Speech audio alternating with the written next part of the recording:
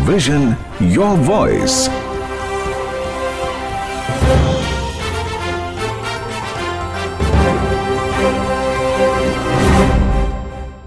नमस्कार अदाब वड़कम सत मैं आरजे सान्या, स्वागत करती हूँ आप सभी का एफ़ एम रेनबो 102.6 के कार्यक्रम एयर नेक्स्ट के एक नए एपिसोड में।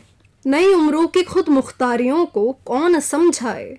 कहाँ से बच के चलना है, कहाँ जाना ज़रूरी है? नई फ़सलों का हवाओं में लहराना ज़रूरी है।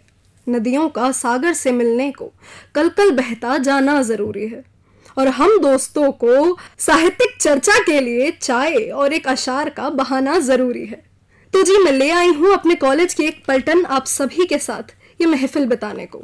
मैं जाकिर हुसैन, दिल्ली महाविद्यालय की ओर से आकाशवाणी को तहे दिल से शुक्रिया अदा करना चाहूँगी कि उन्होंने हम सभी को यहाँ आने का मौका दिया। अब मैं चाहूँगी कि यहाँ बैठे मेरे सभी दोस्त हम सभी को अपना परिचय दें।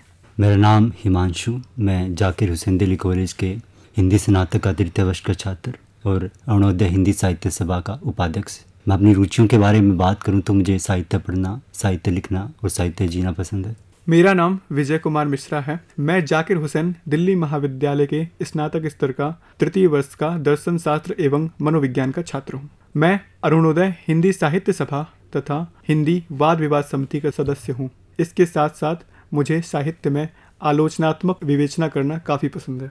मेरा नाम माही है। मेरी रुचि गाना गाना है और कविताएँ लिखना बहुत पसंद है। नमस्कार मेरा नाम मुकेश कुमार है और मेरी रुचियों के बारे में बात करें तो मुझे साहित्य लिखना और पढ़ना पसंद है और अध्यात्म में मेरी काफ़ी रुचि है और लोगों से बात करना लोगों के मनोविज्ञान को समझना मुझे काफ़ी अच्छा लगता है। तो ये है हम दोस्तों की महफिल। अब बात आई हो महफिल की और ज़िक्र साहित्य का ना हो, ऐसा हो नहीं सकता। फिर बात हो साहित्य की और भारतीय होने के नाते हम हिंदी साहित्य का ज़िक्र ना करें। यह तो संभव नहीं। और भाई साहित्य और ऊपर से हिंदी साहित्य तो पहली नज़र में तो ये बड़ा बोरिंग सा लगता है। हाँ हाँ मुझे भी लगा था। पर दरअसल ऐसा है नहीं। जितना हमारा भारत इंटरेस्टिंग है, उतना ही हिंदी साहित्य भी। ये धारा बहनी शुरू हुई वेद पुराणों से। बुद्ध और महावीर के चरण स्पर्श करती, मीरा की वाणी में घुलती, खुसरो के साथ इश्क में मलंग होती तो कभी इनकलाब के नारे बुलंद करती, कभी प्रेमचंद की कर्मभूमि में संघर्ष करती तो कभी अग्गे की बाजरे की कलगी के साथ लहराती मिल ही जाती है। पर ये नदी आजकल सूखने सी लगी है। वो क्या है ना, जब माँ के पास जाए बच्चा अरसा बिता देता है तो माँ का कुछ यही हाल होता है। तो हमने सोचा कि क्यों ना आज माँ को ही याद कर लिया जाए। एक दफे उसकी गोद में सर रख, उसका हाल क्यों ना जाना जाए? इसी के साथ मैं आज की चर्चा का विषय आप सभी के साथ साझा करना चाहूँगी, जो कि है हिंदी साहित्य और युवा पर बातचीत। चलिए हम आगे बढ़ाते हैं इस चर्चा को। दोस्तों, आप सभी ने सुना होगा कि साहित्य समाज का दर्पण है। तो आइए जानते हैं हम हिमांशु से कि वो कैसे समझते हैं कि साहित्य समाज का दर्पण है और कितना। ये परिभाषा साहित्य के प्रेमचंद जी ने दी थी। इस परिभाषा के अनुसार जो समाज में चल रहा होता है, उसे साहित्य दिखाता है। लेकिन ये परिभाषा कभी कभार ठीक नहीं बैठती है। सबसे ज़रूरी बात यह है कि साहित्य को लिखते या पढ़ते समय हमें बात का ध्यान रखना चाहिए कि साहित्य लिख कौन रहा है, वह कहाँ से ताल्लुकात रखता है। क्योंकि सबसे ज़रूरी बात यह है कि जो चीज़ प्रवृत्तियाँ होती हैं, उसे साहित्य दिखा पा रहा है या नहीं। उदाहरण के लिए हम रीतिकाल की बात करें तो दरबारी साहित्य है, लेकिन उस समय समाज में बेहद उथल पुथल दिखाई पड़ती है।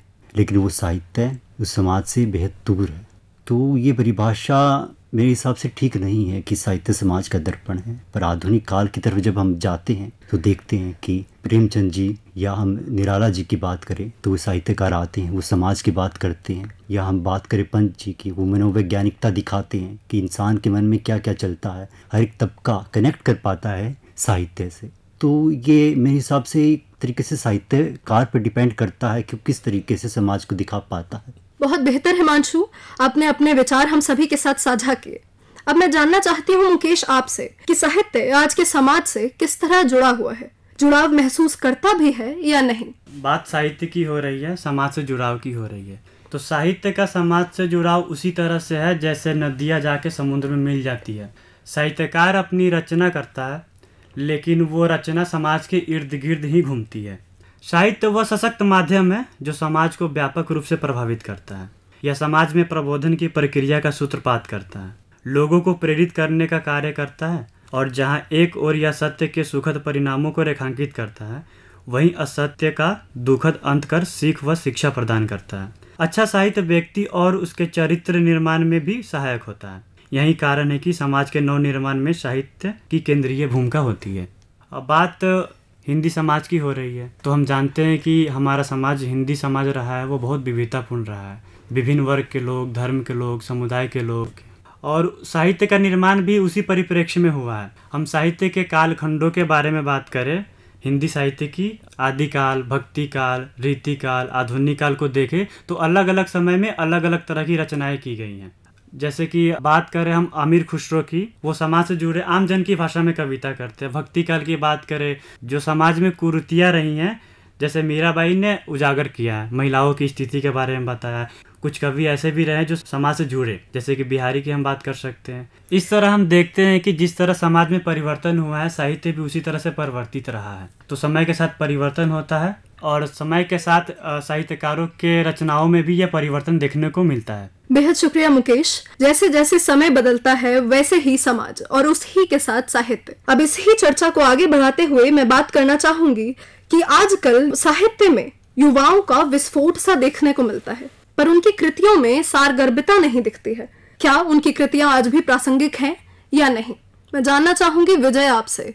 आपके क्या विचार हैं इस बारे में? जब कोई साहित्यकार साहित्य की रचना करता है तो सबसे ज़रूरी बात यह है कि उसके द्वारा रचित साहित्य में झलकता स्वरूप स्वयं उसके भीतर भी होना चाहिए। वर्तमान समय में युवाओं द्वारा रचित कृतियों जैसे कविताओं, कहानियों इत्यादियों में समाज का उद्धार कम तथा स्वयं के लिए प्रतिष्ठा पाने की भूख ज़्यादा दिखती है। उदाहरण के लिए यदि हम बात करें, हम महात्मा गांधी जी की बात करें तो जब पिता ने अपने पुत्र को गुड़ खाने के लिए गांधी जी के पास लेकर आए थे कि गांधी जी आप इसे समझाइए कि गुड़ ना खाए। तो गांधी जी ने उससे तब तक नहीं कहा, उसे तब तक नहीं समझाया जब तक कि स्वयं गांधी जी ने भी गुड़ खाना नहीं छोड़ दिया। तो समाज बदलाव के लिए यह ज़रूरी है कि हम जो भी अपने विचार साहित्य के माध्यम से, अपनी कृतियों के माध्यम से रखते हैं, उसका स्वरूप सबसे पहले हमारे स्वयं के जीवन में प्रतिबिंबित होना चाहिए। बहुत बेहतर कहा आपने विजय। हम लोग कहने भर पे बहुत ज़्यादा ज़ोर देते हैं, मगर जब बात आती है उसको व्यवहार में लाने की तो हम कहीं पीछे छूट जाते हैं। अब हिमांशु, मैं आपसे जानना चाहूँगी कि आजकल का युवा सोशल मीडिया के कारण काफ़ी भ्रमित सा नज़र आ रहा है। आपके नज़रिए में युवा असल साहित्य से कितना जुड़ाव महसूस करता है? देखिए, सान्या, जब गडरिया एक और भेड़ों को हाँकता है तो सारी भेड़ उसी तरफ़ जाने लगती है। हमारा युवा समाज भी कुछ ऐसा है, जो कि एक ट्रेंड को फॉलो करता है। रही बात असल साहित्य की तो ये बात कहनी थोड़ी अजीब है कि क्या असल साहित्य है, क्या असल साहित्य नहीं है। क्योंकि एक इंसान जो लिख रहा है, वह अपनी अनुभूतियों से लिख रहा है, वह समाज में रहकर जुड़ा हुआ लिख रहा है तो वो भी साहित्य तो होगा ही। हम एक साहित्य को ये कह कर नहीं कह सकते कि ये असल साहित्य है, ये असल साहित्य नहीं है। पर रही युवा की बात कि वो कितना जुड़ा हुआ है साहित्य से तो इस बात में ये है कि जब से सोशल मीडिया चली आई है, या सोशल मीडिया का चलन हुआ है तो लोग किताबों से कम या जो सोशल मीडिया के ऐप्स हैं, उनसे ज़्यादा जुड़े हुए हैं। तो एक तरीके से लोग किताबों से दूर होते जाते हैं और सबसे पहले कोई अगर हम किसी लेखक के बारे में पढ़ रहे हैं या उसकी कृति पढ़ रहे हैं तो सबसे पहले हमें उसकी भूमिका को पढ़ना ज़रूरी होता है। तभी हम उस कृति को या उस साहित्य रचना को जान पाते हैं। लेकिन आज का युवा के पास किताबों को पढ़ने का समय नहीं है। नए साहित्यकार हैं, जैसे गीत चतुर्वेदी है, उनकी किताबें भी लोग पढ़ रहे हैं और या ऑडियो बुक्स में सुन भी रहे हैं। तो हम पचास पचास के उसमें कह सकते हैं कि एक तरफ़ से युवा कुछ भटका हुआ साहित्य से, लेकिन लोग जुड़े भी हुए हैं। आपने बहुत हद तक सही कहा है हिमांशु, मगर मैं पूर्ण रूप से इस बात से सहमत नहीं हूँ। मैं मानती हूँ कि किताबें एक बहुत अहम हिस्सा है साहित्य का, मगर आजकल के युवा ने काफ़ी नए आयाम खोज लिए हैं साहित्य साधना के लिए। तो ये कहना गलत होगा कि सोशल मीडिया जो है वो युवाओं को विमुख ही कर रहा है। बल्कि मैं मानती हूँ कि इसके थ्रू युवा ज़्यादा से ज़्यादा साहित्य, जो कि वर्ल्ड वाइड फैला हुआ साहित्य है, उससे जुड़ पाता है। नए साहित्य को, नए परिपेक्ष को, नए कल्चर को ट्रेडिशन को जान पाता है। तो अब मैं चर्चा को आगे बढ़ाते हुए पूछना चाहूँगी अब माही से कि अगर सचमुच युवा साहित्य से इतना जुड़ा हुआ महसूस करता है तो उससे उसके लाभ क्या है? ये भी जानना ज़रूरी है कि साहित्य महज एक रुचि मात्र नहीं है, बल्कि वह हमारे जीवन का किस तरीके से हिस्सा है। जी सान्या, आपने बिल्कुल सही कहा। बात चल रही है युवा और साहित्य की। तो देखते हैं कि आधुनिक समाज में युवाओं का अलग ही अस्तित्व दिखता है। क्योंकि कल के आने वाले समाज के हर पहलुओं पर नज़र रखने वाले ये युवा ही हैं, जो रूढ़ीवादी विचारधारा को, गरीबी को, शिक्षा को, स्त्रियों को और साथ ही समाज की हर परिस्थितियों को एक नई विचारधारा के साथ आगे बढ़ाते हैं। ये हमारे नव युवा ही हैं। साहित्य और युवाओं का संबंध एक गंभीर पद्धति का है। कैसे? ये बात हमको समझनी है। साहित्य ऐसी विधा है जिसे आप मौखिक रूप से और लिखित रूप से योग्य मान सकते हैं। लेकिन इन दोनों बात में भावों और मानव संवेदनाओं का होना अत्यंत ज़रूरी है। क्योंकि ये संवेदनाएँ ही हैं जो मानव की एक नई दृष्टि समझ और विकास और विचार ग्रहण करवाते हैं। और देखें तो नई चेतना को विकसित कर एक नई दिशा का प्रदान करवाते हैं। और कोई नहीं, साहित्य ही है जो हमें एक नई दृष्टि और नज़रिया और दिशा देता है। अब आती है लाभ। लाभ इसके कई सारे पक्ष हो सकते हैं। तो साहित्य युवाओं की विचारधारा को एक नया मार्ग देता है। साहित्य चिंतन पद्धति के साथ साथ युवाओं के चरित्र को भी प्रभावित करता है। क्योंकि एक आदर्शवाद जो समाज होता है, उसकी गणना साहित्य से ही है। क्योंकि हम कई सारी रचनाओं को पढ़ते हैं तो उनका जो प्रभाव होता है, वो हमारे व्यक्तित्व पर भी पड़ता है। साहित्य ये कहने तक सीमित नहीं है कि इससे युवाओं को लाभ है क्या, बल्कि युवा स्वयं साहित्य का वर्णन ऐसे कर सकता है, जिससे युवा को अनेक माध्यम मिल जाते हैं, जो समाज की सुष्मता को दर्शाने का विषय बन जाते हैं।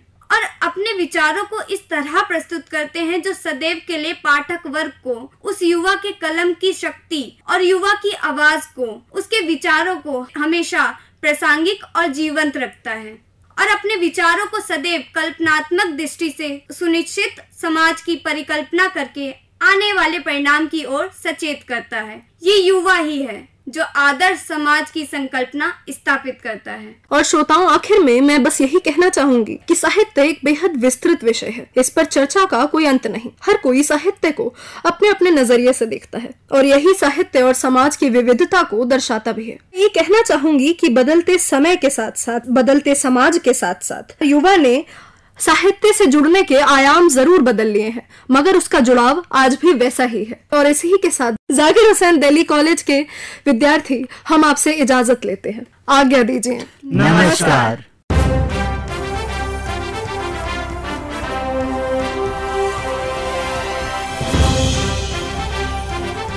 Air next